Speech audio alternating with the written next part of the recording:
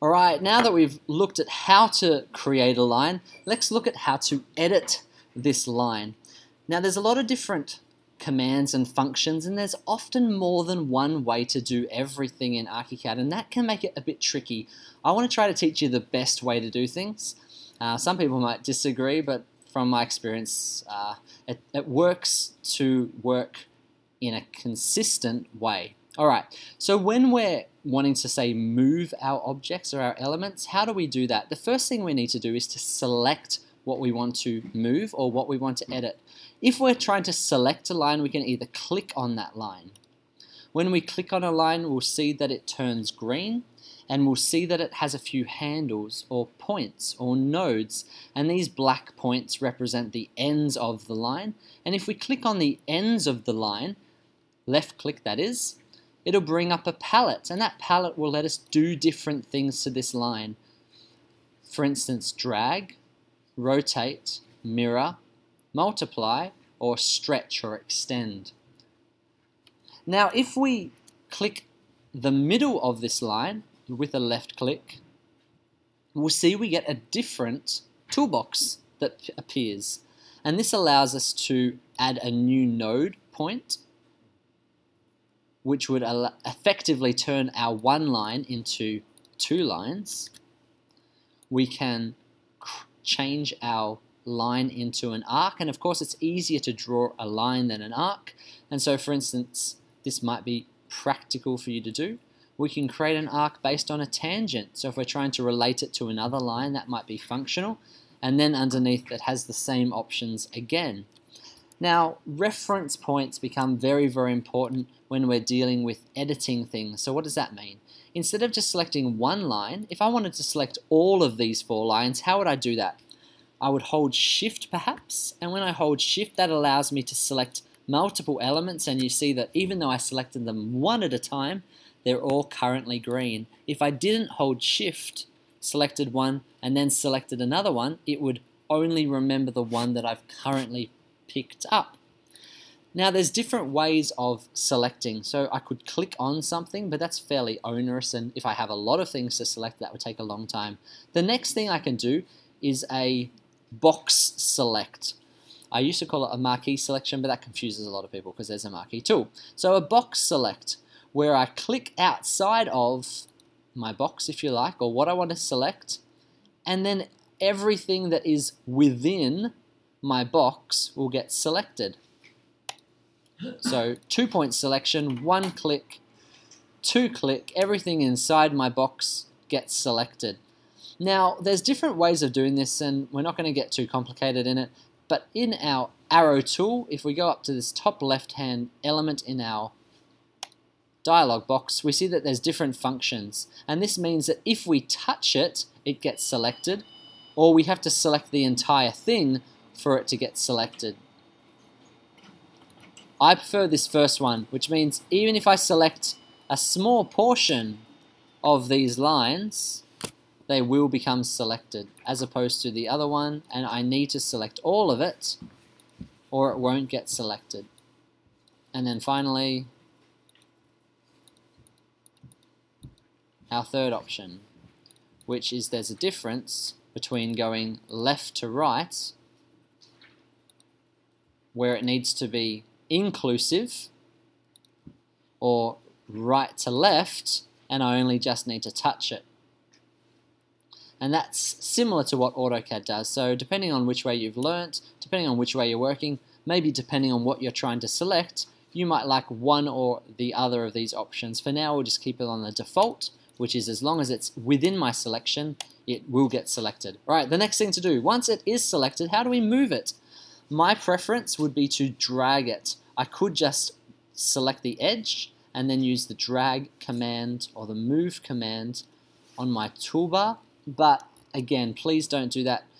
What I would recommend instead that you do is use the move commands. Now we find those in different ways. We find them in edit, move, drag, and we see that for nearly every command, there's also a keyboard shortcut. Again, this would be different on a Mac and a PC, but here we see that on a Mac, we're talking about Command D for drag. But otherwise, edit, move, drag. Now when we drag, we find a reference point. And if you're not sure what to do, look at the bottom left-hand side of the screen. It will give you a suggestion of what to do. Edit, drag, reference point. Sorry, enter, drag, reference point. I'm going to use this intersection between the bottom points of my line as my reference point. I'm going to pick it up and I'm going to move it to my origin point, like I said before, this little X. It's going to turn to an arrow because it's an important point, it's an intersection, I'm going to left click again to place it. So we don't hold the mouse button down when we move. It's not like Photoshop. We can click and then click again. This might be a little bit unusual to some people who've used different programs in the past. Alright, how else can we move? Let's do that again. Let's say I want to move it a set distance now. I want to move it one meter to the right. I can select my lines and instead of going edit, move, drag, I could right click, right click, move, drag. I'm going to choose that same point, click. Now I want to move that to the right one meter. I know that my box is a meter, so I could literally just click on this point or if I want to do it the long way around, I'm going to hold shift, press D or press R, type in a meter, press enter. Now let's say I want to move it up 2 meters.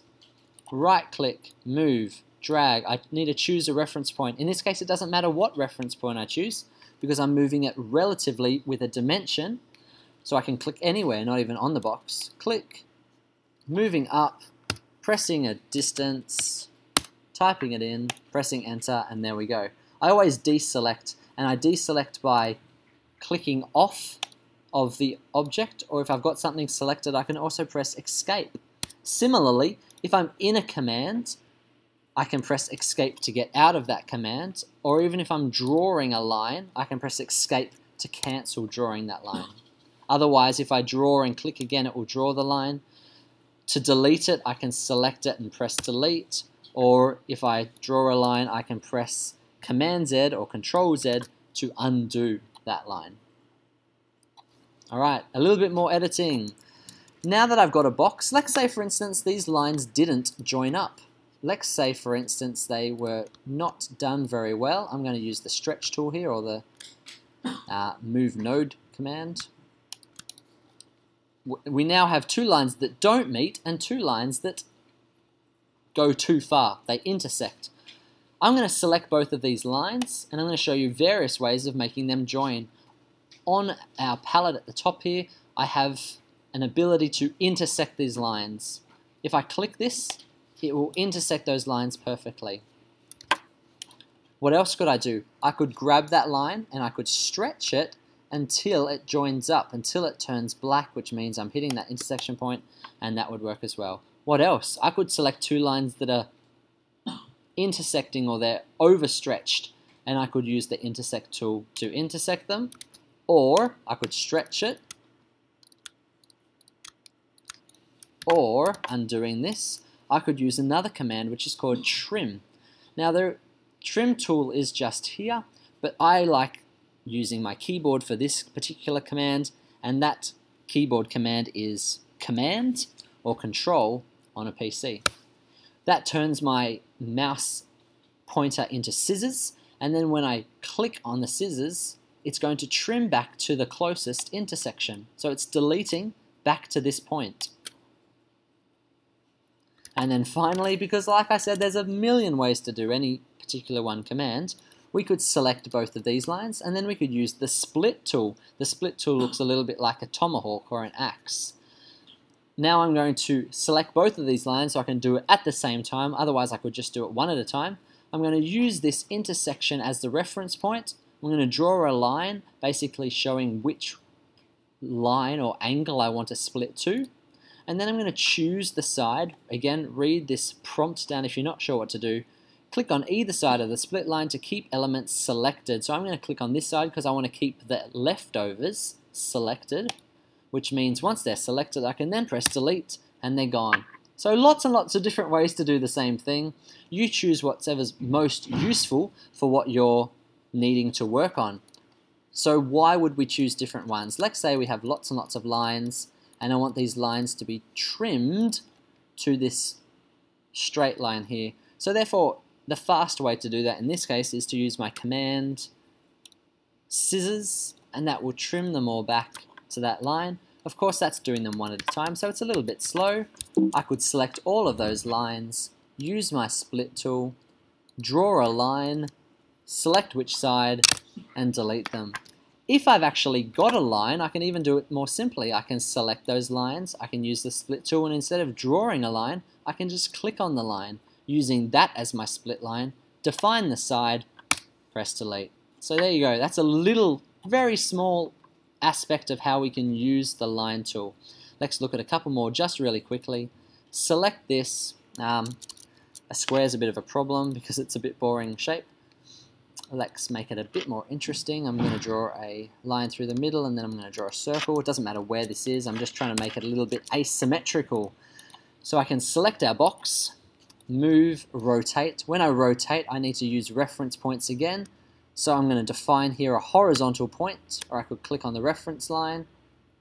I'm going to rotate it here counterclockwise 90 degrees, so holding shift will make it be exactly 90. Then I'm going to define this reference point, click, there we go. The next option, maybe I want to mirror it, not mirror a copy, don't get confused. Mirror the actual instance, which means flip it. Right click, move, mirror. To mirror something, I need to define the mirror axis. Click, define which is my line where I mirror around. I want to mirror around vertical, so I'm going to make sure my line is straight. Click, and there we go. If you want to rotate a copy or mirror a copy or any of these things, drag a copy, right click, move, we have all of these options as well. Drag a copy so I can make multiples. Select it again. Move, rotate a copy so I can do it with multiples. And then finally, mirror a copy, move, mirror a copy, and depending on how many I've selected, that's what it will do. And finally, if we want to do this very, very much, that's not very well explained. If I want to create lots of these, move, multiply, and I can create a dragged multiplication, a rotated multiplication, an elevation, or a matrix, which means in two different orientations. I'm going to do a rotation. No, I'm going to do drag. And so this, in this case, I want to spread these apart. I'm not sure how far, so I'm going to use increment instead. I'm going to say I want 10 copies. I'm going to select all of it, use my reference point. I'm going to say I want them 5 meters apart. And there we go. Now we've got 10 copies of this. So simple functions, that's how we use them. I've gone and said this quite quickly, but watch the video again, pause it, go back, and so you can repeat each step a little bit at a time.